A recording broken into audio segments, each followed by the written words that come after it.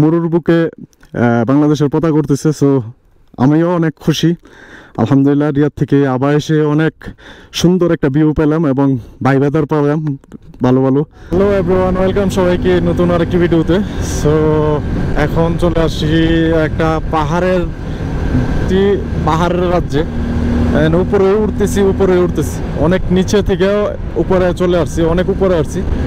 তারপরে অনেক উপরে যাচ্ছি। এটা হলো আবা থেকে নাজরান রুট যেটা বলে, এই রুটে আসছিলাম। আর আবা থেকে এটা ইয়াতে আসছি, আবা থেকে আসছি, এই পাহাড় এই জায়গা। সো মনে হয় এইখানে রাস্তা শেষ।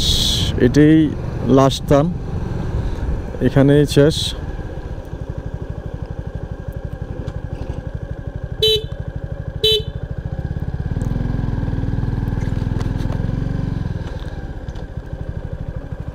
নো এন্ট্রি লিখা দিছে না? সেই লেভেল হয়েছে সেই লেভেল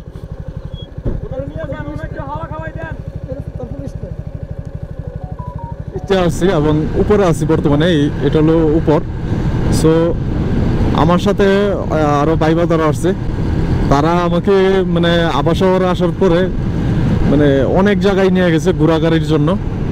মানে সেটা আসলে যদি তারা না হইতো এটা আমার পক্ষে সম্ভব হইতো না সো আমি একটু ঘুরা যদি তারা না দেখা করতো বা এতটুকু সময় না দিত তাহলে আমি ওই একটু ঘুরে আরেকবার চলে যেতাম সো তিন দিন ধরে আমাকে সময় দিচ্ছে তারা এই যে নিচে বাড়িঘর ওইখান থেকে বলে আমরা আসছি এই পাহাড়ের উপরে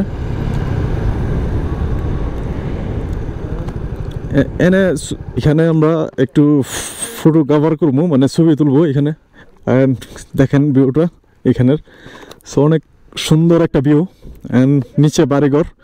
আর ওই আমরা নিচের রাস্তা দিয়ে আসছি, উপর দিয়ে, এই দিক দিয়ে। অ্যান্ড এখানে কয়েকটা ছবি তুলবো, ছবি তুলে একবার ব্যাক আবাতে ব্যাক করব। তো মানে এই, এটা হলো ভিউ সো এখানে এসে সুপার সুপার ফটো উঠানো হয়েছে এবং ভিউটা দেখেন একদম সুপার একটা ভিউ অ্যান্ড চারিদিকে পাহাড় আর আকাশ। সো অনেক সুন্দর লাগতেছে। এবং বাইরে আসছিল, বাইরেদেরকে নিয়ে ফটোশপ করলাম এবং ফটো তুললাম। সো বাংলাদেশের পতাকা উঠতেছে মরুর বুকে বাংলাদেশের পতাকা উঠতেছে সো আমিও অনেক খুশি।